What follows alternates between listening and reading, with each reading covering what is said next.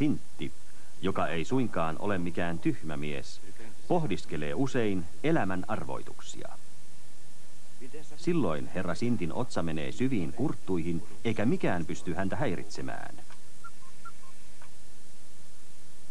Miksi, hän saattaa kysyä itseltään, linnuilla on siivet, joilla lentää, kun taas toisten on pysyteltävä maassa? Minkä takia ihmisellä on vaatteet, kun muut oliot ovat aivan alastomia?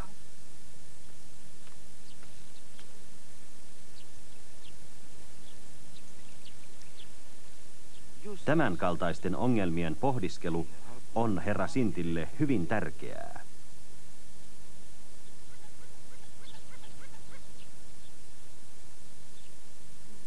Kaupunkilaiset ovat tottuneet näkemään herra Sintin ihmettelemässä mitä kummallisimpia asioita.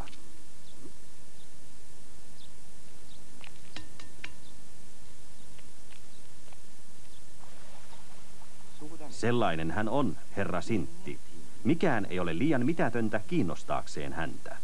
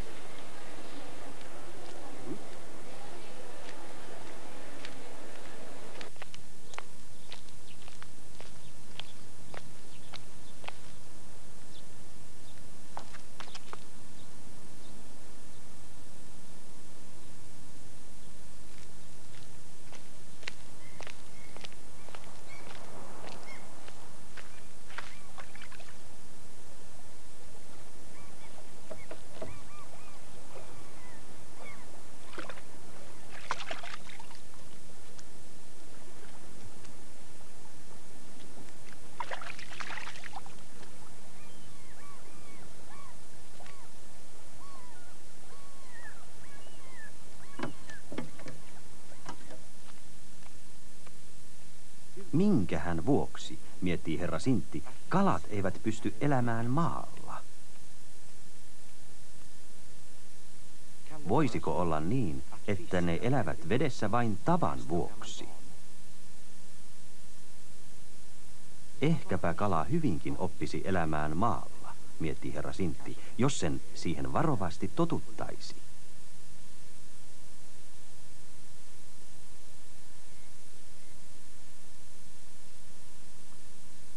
Herra Sintti on aivan varma siitä, että kala, kun sitä sopivasti opettaisi, selviytyisi myös kuivalla maalla.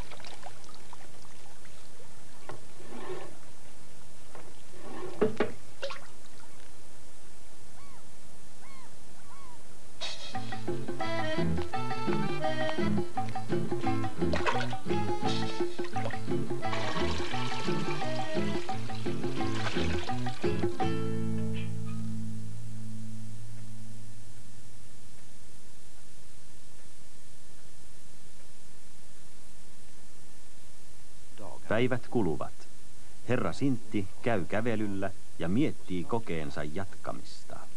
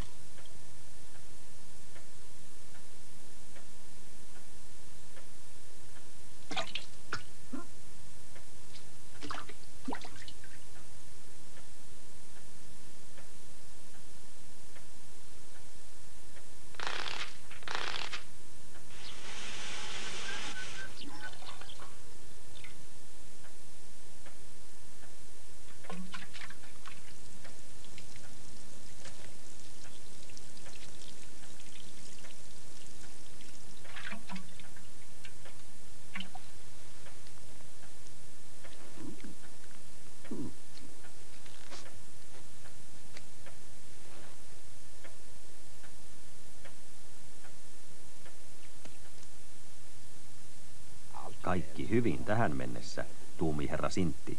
Nyt pitää vain saada Silli ymmärtämään.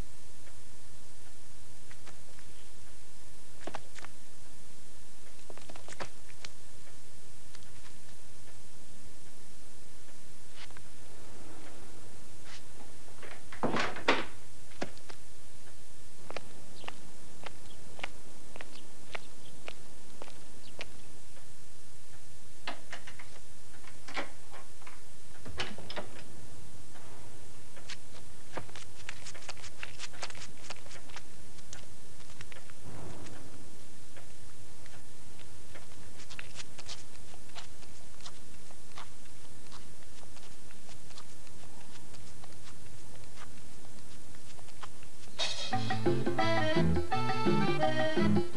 you.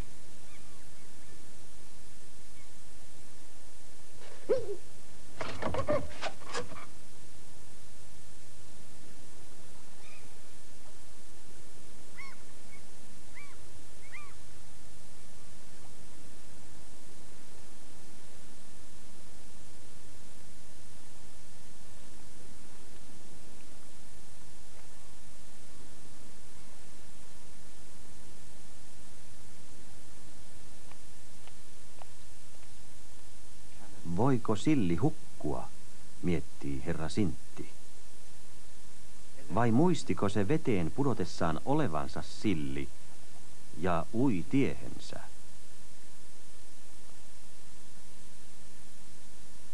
Kotona herra Sintin otsa menee syviin kurttuihin.